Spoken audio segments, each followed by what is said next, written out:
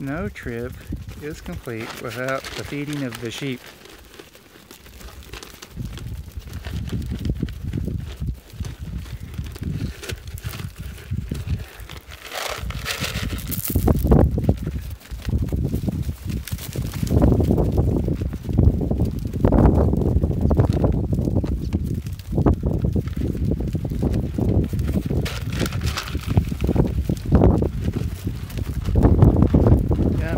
Right in the middle of the herd. Right in the middle of the herd. This could be dangerous. There's Some babies right there.